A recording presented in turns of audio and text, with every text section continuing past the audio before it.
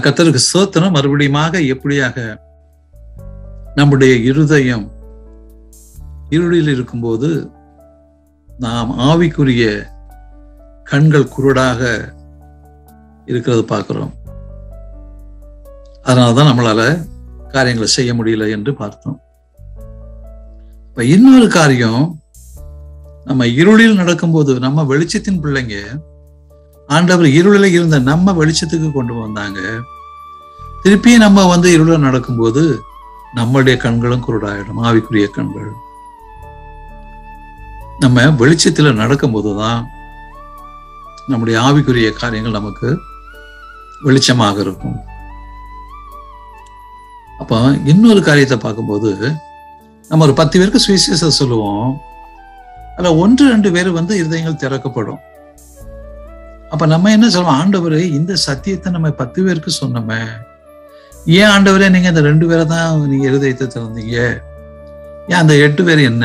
நீ என்ன பாரபட்சம் பாக்குறவங்களா ஏன் இந்த ரெண்டு பேரை மட்டும் நீ இருதயத்தை திறந்தீங்களே அவங்களையும் சேர்த்து திறந்திருக்குன்னா பத்து பேர் ஆச்சுதே அப்படின்னு நம்ம நினைக்கலாம். சில சமயங்களில் போயிட்டு அடிக்கடி நம்ம சுவிசேஷத்தை சொல்லுவோம்.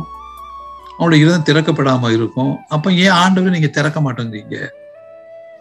ஆண்டவரே எல்லாம் செய்து முடிச்சிட்டானா என்ன ஆகுது அவர் தான் நமக்காக அவர் மனம் திரும்பணுமா? அவருக்காக நம்ம இருதயத்தை திறக்கணுமா? அவர் வந்து நம்ம வந்து இருதயத்தை திறக்கணுமா? ஒரு மனுஷன் சத்தியத்தை அறிவான் சத்தியம் தான் அவனை விடுதலையாக்கும்னு சொல்லப்படுகிறது.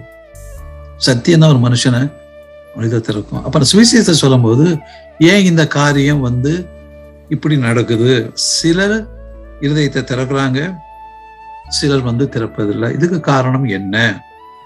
ரெண்டு தசோனிக்கர் சாப்டர் ரெண்டாவது அதிகாரம் பத்து பதினொன்னு பன்னிரெண்டு இந்த மூன்று வசனங்கள் நம்ம வாசிக்கும் போது சொல்லப்படுது அந்த அக்கிரமக்காரனுடைய வருகை சாத்தானுடைய செயலின்படி சகல வல்லமையோடும் அடையாளத்தோடும் அடையாளங்களோடும் பொய்யான அற்புதங்களோடும் கெட்டு போகிறவர்களுக்குள்ளே அநீதியால் உண்டாகும் சகலவித வஞ்சத்தோடும் இருக்கும்.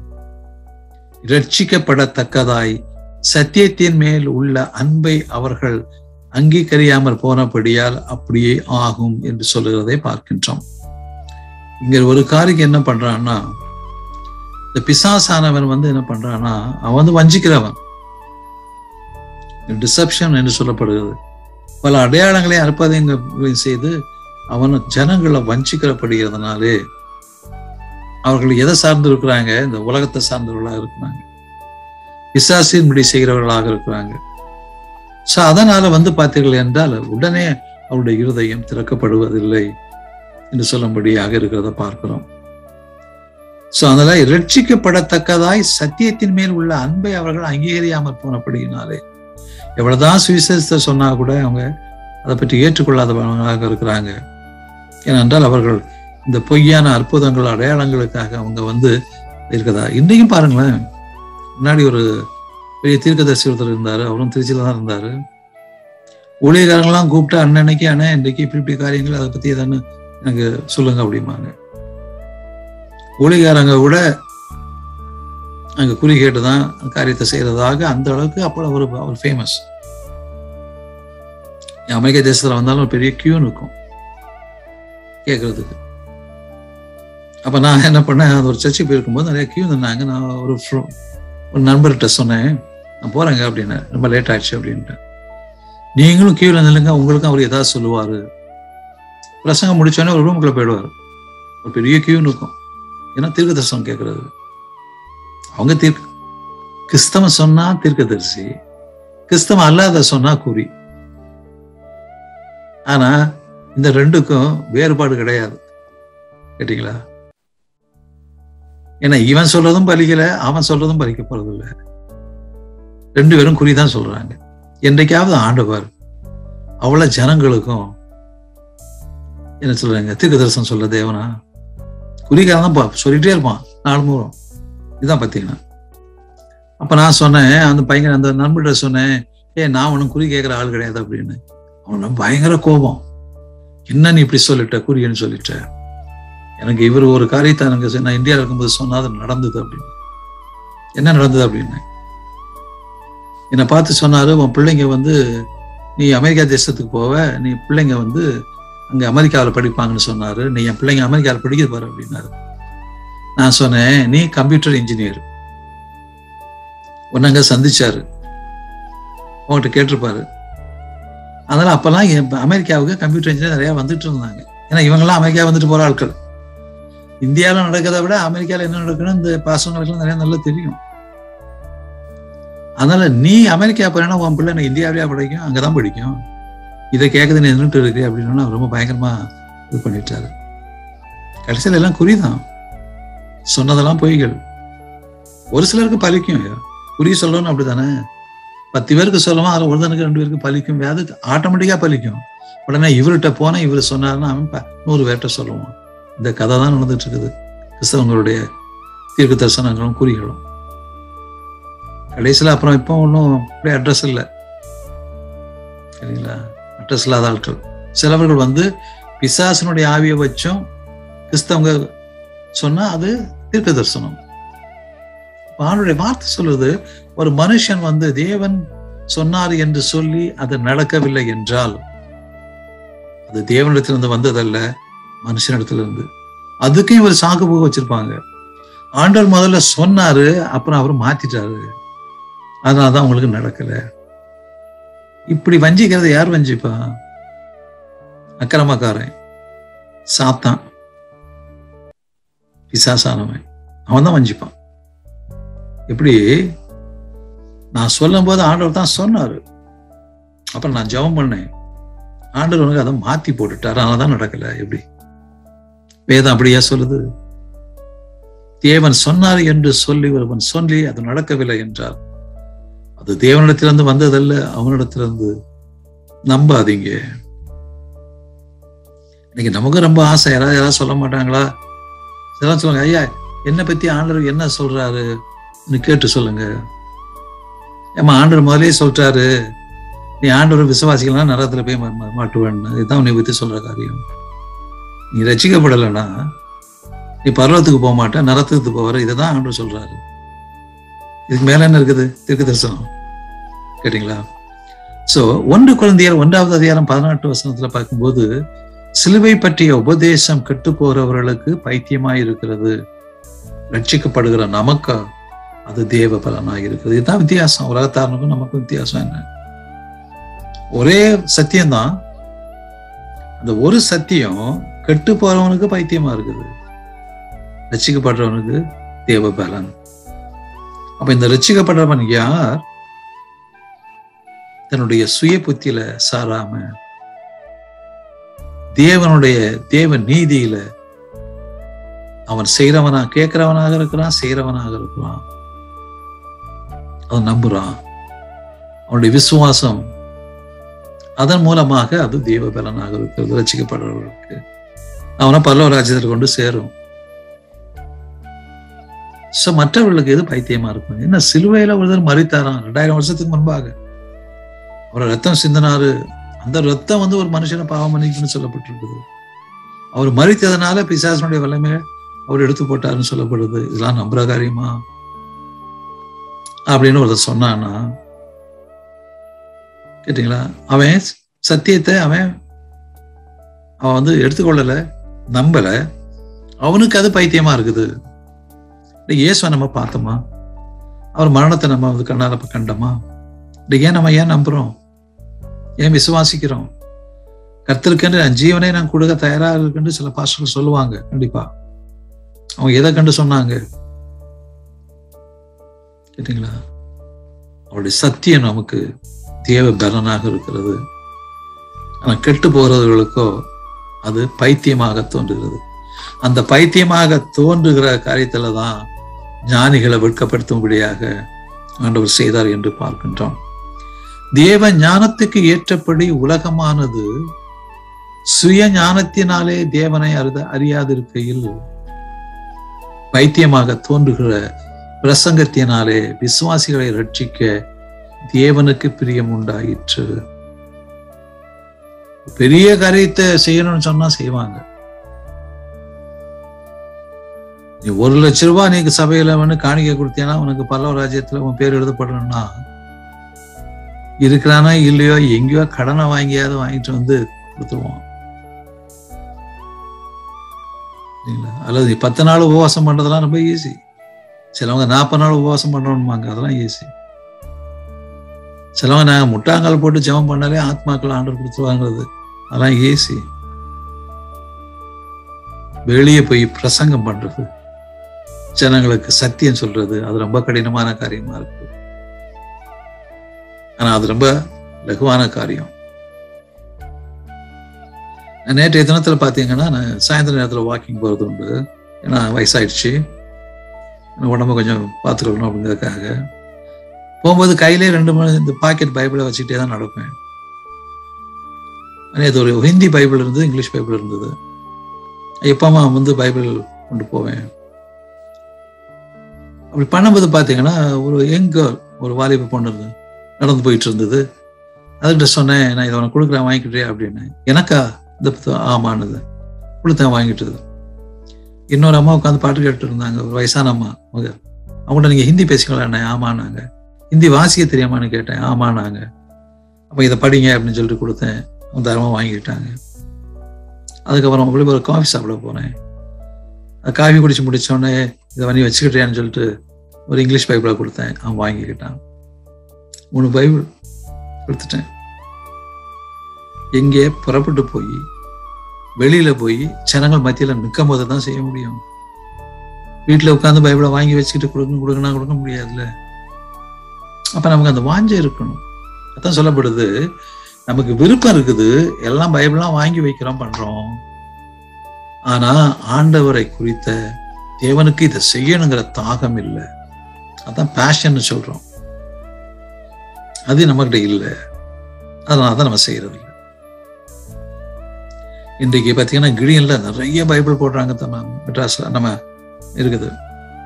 என்னுடைய நண்பர் ஒருத்தர் மதுரையில் இருக்காரு. அவர் அவர் வந்து பச்சபாஸ் காலேஜ் ப்ரொஃபஸராக இருந்து ஹிந்துவாக இருந்து கன்வெர்ட் ஆனவர். ஒரு வருஷத்துக்கு ஒரு லட்சம் பைபிளை விநியோகம் பண்ணுவாங்க ஸ்கூலில் ஒரு லட்சம். அவர் நம்ம சாம்பியன் சொல்லுவாங்க எல்லா வருஷமும். நான் போயிருக்கிறேன். அவங்க வீட்டில் போயிருக்கிறேன். அந்த பைபிள் இருக்கிற இடத்துல அங்கே நான் படுத்து இருந்திருக்கிறேன் அடிக்கடி நான் முன்னாடி மதுரைக்கு போகிறதுனால அவர் நல்லா தெரியும். சரிங்களா அவர் ரெண்டு ஆலயத்தை வச்சிருக்கிறாங்க. ரிட்டையர் ஆனதுக்கப்புறம் இந்து கான்வென்ட் ஸோ அப்படியாக பார்த்தீங்கன்னா ஒரு ஸ்கூலில் போயிட்டு நானூறு பைபிள் வைப்பாங்க ஒரு காலேஜில் அங்கே வந்து ஒரு லாயர் அவரும் ஒரு கிறிஸ்து அவர் இதில் உள்ளவர் கிடியனில் உள்ளவர். ஒரு நல்ல வசனத்தை பிரசங்கம் பண்ணுவாங்க. இதை வாங்க எடுத்துக்குவாங்க அப்படின்னா ஐநூறு பைபிள் பத்து நிமிஷத்தில் போயிடும். ஸோ அப்படி வந்து அவங்க வந்து அந்த தாகத்தில் போகிறாங்க அங்கே நடக்குது. நம்ம எங்கே போகிறோம் பார்த்தீங்கன்னா ஸோ அப்படியாக நம்ம சுவிசேஷத்தை அந்த காலத்தில் நம்ம எடுத்துக்கொண்டு போகணும். பைபிள் ஃப்ரீயாகவே கிடைக்குது கடியன்ல இருந்து. நிறைய பேர் வாங்கி வாங்கி கட்டுக்கட்டா வீட்டில் வச்சிருப்பாங்க. விசுவாசிகள்கிட்ட கொடுங்க. நீ போகும்போதெல்லாம் வந்து பார்த்தீங்கன்னா ஒரு டீமை உண்டாக்குங்க சபையில். நம்ம நீங்களாம் போயிட்டு கொஞ்சம் சுவிசம் பண்ணிட்டு வாங்க அப்படின்னு சொல்லி விடுங்க. இன்றைக்கு வந்து ட்ராக்ஸ் கொடுக்கறத விட பைபிள் கொடுக்கறது மேல். ட்ராக்ஸ் அப்படி தூக்கி போட்டுருவாங்க கிழிச்சு போட்டுருவாங்க. சின்ன ஒரு புக்கு மாதிரி கொடுத்தீங்கன்னா அதை கிழிக்க மாட்டாங்க. வீட்டுக்கு எடுத்துட்டு போவாங்க. வீட்டில் உள்ளவங்களும் படிப்பாங்க. அதில் நம்ம வந்து நியூ டெஸ்ட்மெண்ட் ரொம்ப சிம்பிளாக தான் கொடுத்துரு போட்டிருக்காங்க. நல்லா இருக்குது. பிடிஎன் பைபிள்ஸ் நிறைய எங்கெங்கே கிடைக்குமோ அங்கெல்லாம் வாங்கி இங்கே கொடுங்க கொடுத்து அனுப்புங்க. ஆண்டருக்கு உதவி உதவி செய்வாங்க. அப்போ வந்து பார்த்தீங்கன்னா அவருடைய கண்களை திறக்கும்படியாக நம்மளை ஆண்டவர் தெரிந்து கொண்டார்.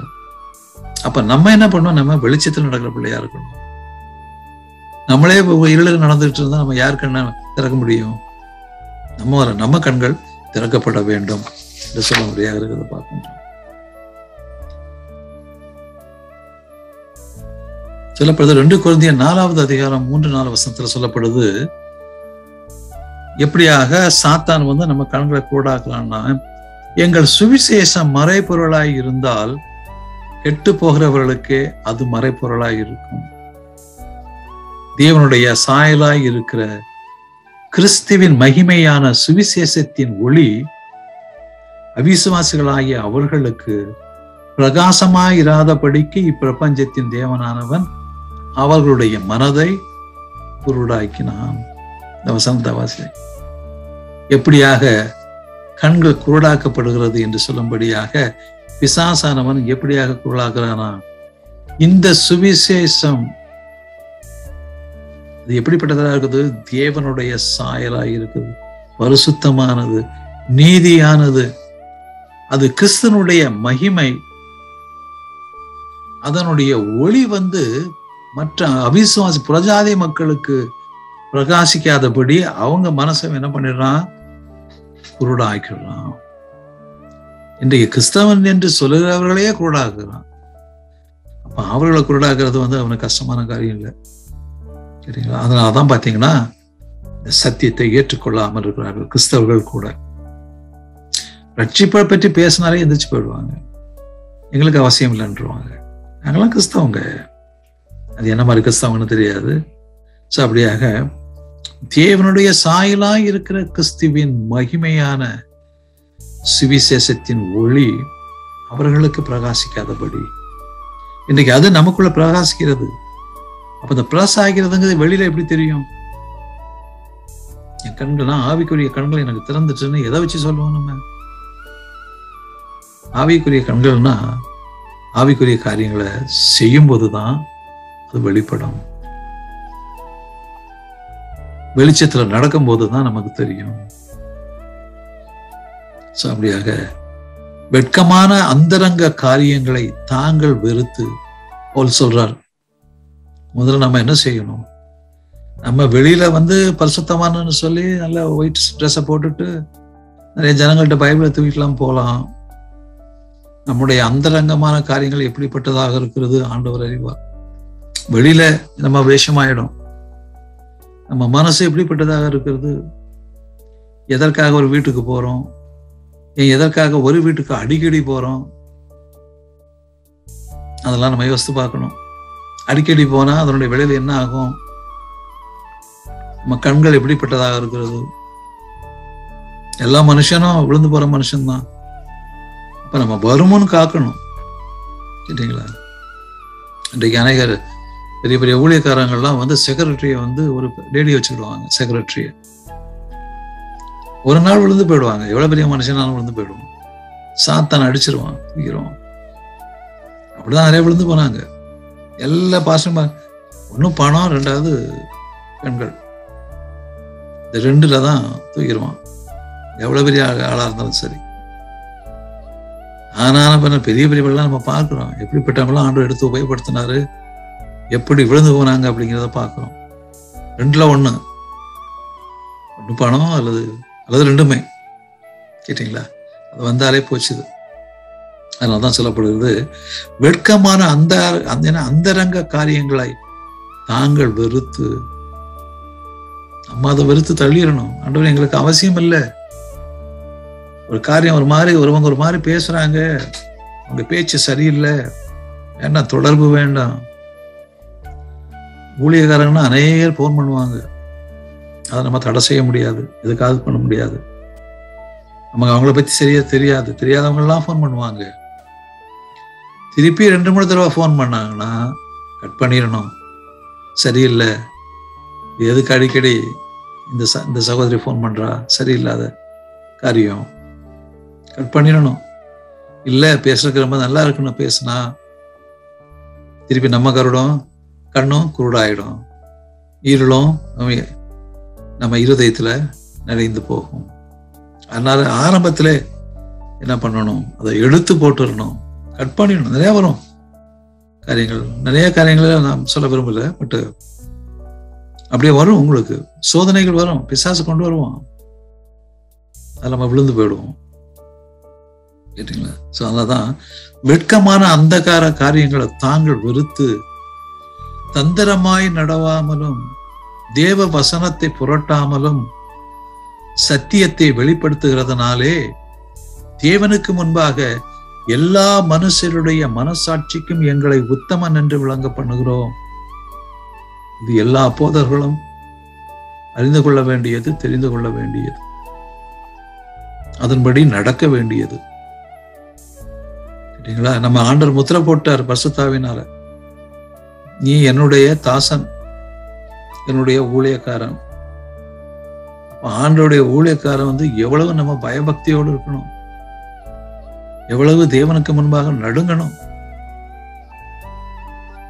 இன்னைக்கு நம்ம புல்பீட்டு கிடைச்சுன்னு சொல்லிட்டு நம்ம அதிகாரத்தோடு வாய் கேட்டீங்களா? கோபத்தோடு மற்ற காரியத்தையும் நம்ம அங்க சொல் பேசக்கூடாது பேச முடியாது. அது தேவனுடைய இடம். புல்பீட்டுங்கிறது சாதாரண இடம் இல்ல. ஒரு ஊழியக்காரனுக்கு தேவனுடைய இடத்த கொடுத்துருக்காரு. அதுல இருந்து நம்ம பிரசங்கம் பண்ணும்போது எவ்வளவு நம்ம ஜாகிரதையா இருக்கணும் எவ்வளவு தேவ பயத்தோடு செய்யணும். அது கேலி கிண்டு பண்ற இடம் கிடையாது. அது ஜோக் அடிக்கிற இடம் கிடையாது. ஜனங்களை சிரிக்க வைக்கிற இடம் கிடையாது. கேட்டீங்களா? அது நம்ம தேவனுடைய நாமத்தில் அங்க போய் நிற்கும் போது அது பரிசுத்தன இடம். புல்பிட்டு பரிசுத்தமானது. ஸோ அதனால நம்ம முதல்ல என்ன நம்மளை வந்து சுத்திகரித்து கொள்ள வேண்டும். தாழ்த்த வேண்டும் ஆண்டவர்கிட்ட? ஸோ நம்மளை தாழ்த்தும் போது தான் ஆண்டவர் நம்மளை உயர்த்துகிற தேவனாக இருப்பார் என்று பார்க்கின்றோம். அதனால பார்த்தீங்கன்னா தேவ வசனத்தை புரட்டாமலும் சத்தியத்தை வெளிப்படுத்துகிறதுனாலே நம்ம தேவனுக்கு முன்பாக மனுஷருக்கு முன்பாகவும் நம்ம உத்தமர்களா இருக்கணும். தேவனுக்கு எல்லாம் தெரியும் அப்படின்னு சொல்லுவாங்க. ஐயா உங்களை பற்றி இப்படி ஒரு குற்றச்சாட்சி குற்றம் இருக்குத. அதை பத்தி நீங்க என்ன நினைக்கிறீங்க? அப்படின்னு கேட்டா ஆஹ் அதெல்லாம் ஆண்டவருக்கு தெரியும். ஆண்டவர் தான் எல்லாம் தெரியுமே. ஸோ ஆண்டவருக்கு நம்ம உண்மையா இருக்கிறவங்க கண்டிப்பா மனுஷனுக்கும் நம்ம உண்மையா இருப்போம். இருக்கணும். கேட்டீங்களா? ஸோ அந்த மாதிரி தட்டி கழிப்பாங்க. ஆண்டவருக்கு எல்லாம் தெரியும். இவன் பாவமான வழியில போயிட்டே இருப்போம் அப்ப என்ன ஆகும்? ஸோ அப்படி இல்லாதபடியாக பார்த்தீர்கள் என்றால் நம்முடைய அந்தரங்க காரியங்கள் எல்லாம் வெறுத்து தள்ளிடணும். தேவ வசனத்தையும் புரட்டக்கூடாது. நம்ம இஷ்டத்துக்கு நமக்கு ஏத்தாக்கல பிரசங்கம் பண்ணக்கூடாது. அது ஜனங்கள் இப்படி பிரசங்கம் பண்ணாதான் அதை விரும்புவாங்கன்னு சொல்லி அப்படியும் பிரசங்கம் பண்ணக்கூடாது. கண்டிக்கிற இடத்துல கண்டிக்கணும். புத்தி சொல்ற இடத்துல புத்தி சொல்லணும். அதுதான் ஆண்டவருடைய வார்த்தை. கொடுக்கப்பட்டு இருக்கிறது எங்கள் சுவிசேஷம் மறைபொருளாய் இருந்தால் அது கெட்டு போகிறவர்களுக்கோ அது மறைபொருளாய் இருக்கும் சொல்லப்படுகிறது இன்றைக்கு சுவிசேஷத்தை ஏற்றுக்கொள்ளாதவன் அவன் கெட்டு போகிறவனாக இருக்கின்றான். அவனுக்கு தான் மறைபொருள் ரட்சிக்கப்படுவதற்கோ மறைபொருளாக இருக்காது அது தேவ பலனாக இருக்கும் என்று இந்த வார்த்தை சொல்லுவதை பார்க்கின்றோம். இன்னும் இன்னும் ஏராளமான காரியங்கள் இங்க சொல்லப்பட்டிருக்கிறத பார்க்கின்றோம்.